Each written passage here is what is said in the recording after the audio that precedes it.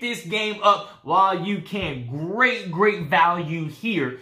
Uh, we have the Marvel Dice Throne 4 box featuring Scarlet Witch, Thor, Loki, Spider-Man. This Dice Throne is one of my top three uh, favorite games uh, of all time or, or in my collection that I currently own right now.